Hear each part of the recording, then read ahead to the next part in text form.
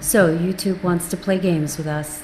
They want to decide what we can post, what information we can get out, and what we cannot. I've been trying to get this report out and published on YouTube for three days now, and it will not process, it will not upload. Also, to, to a lot of you guys, um, I am not able to respond to the uh, emails that you're sending me through YouTube.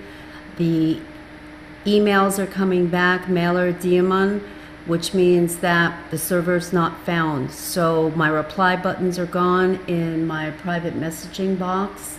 In any case, I think we have found a workaround. So the report I've been trying to get out to you guys is in the link in the description box below. It is not posted on YouTube. Click that link, hear the report, and please share this information with everyone.